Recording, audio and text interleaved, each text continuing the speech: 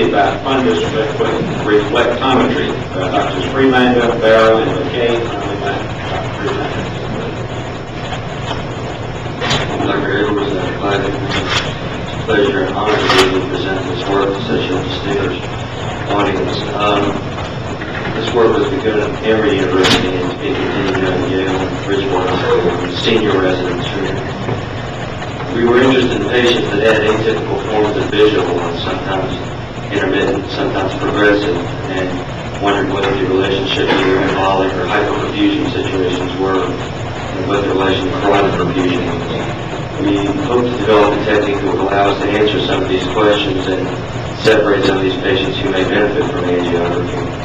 In an attempt to do this, we developed a technique called binocular fundus reflectometry, which is basically using the uh, Fick principle of dye wash through after the injection of a bolus of indocyanine green into the anacubulum. The dye washes through and is detected by two photodetectors placed in contact lenses that are on the eye, both eyes, and gives basically a wash-through curve for each eye. These are just a picture of the fiber optics involved with it. It's really a very simplistic technique and um, can be applied very comfortably. That's me, and done this about 50 times. Good. Simple amplification and prints out a curve for both eyes for on a script chart recorder there. To give a flow curve for each eye, essentially get the uh, injection time and then further down the arrival and the uh, filling peak runoff, and sometimes even recirculation curves are produced.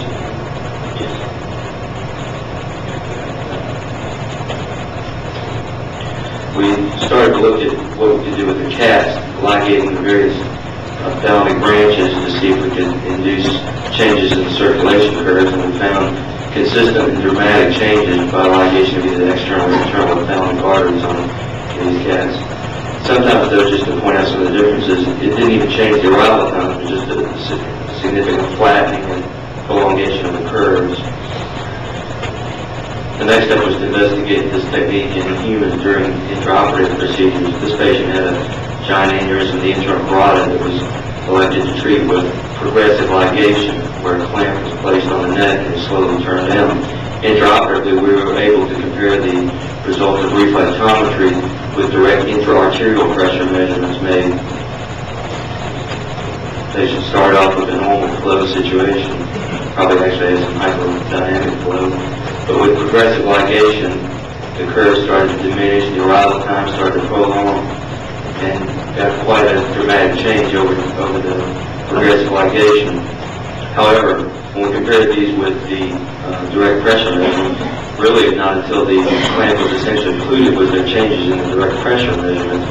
And, and by that point, the uh, BFR had shown a number of variations in the perfusion.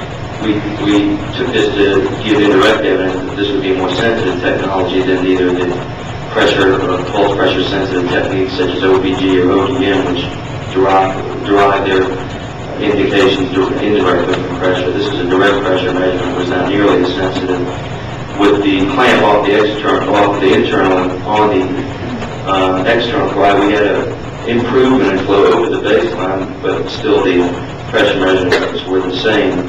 So we showed how we could have variation in flows and still not have much change in the pressures.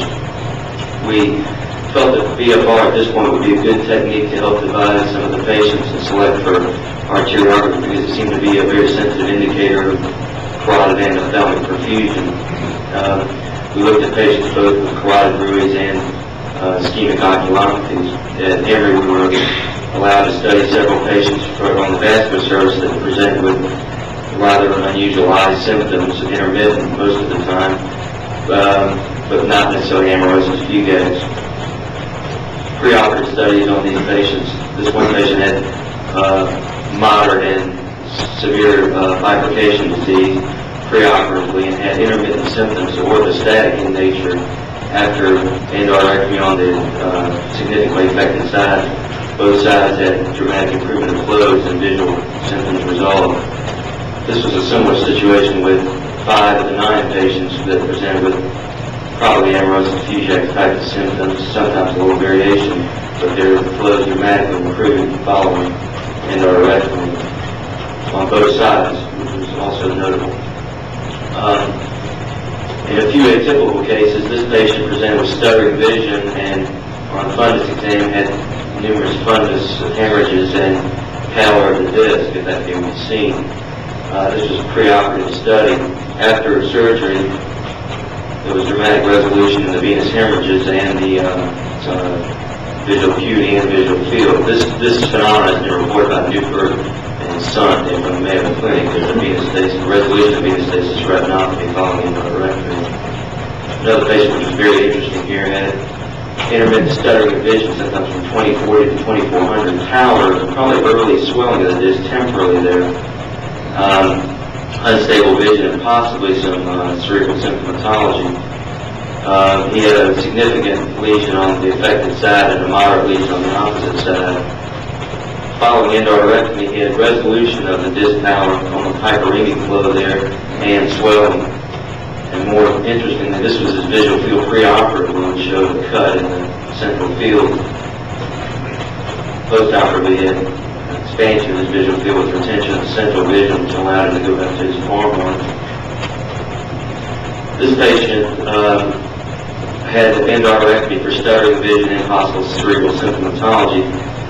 The uh, symptomatology of the, cerebral hemisphere is probably resolved, but she continued to have stuttering vision and no improvement postoperatively in the reflectograms. Till one day she had an apoplectic event and was almost totally blind in that eye. We went back and reviewed the preoperative angiogram, or the postoperative, the postoperative angiogram was obtained on her because of this uh, uh, relapse in vision deterioration.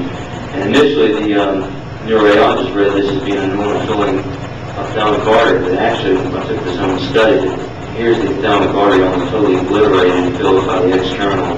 It really should come off right there, but it's just totally occluded.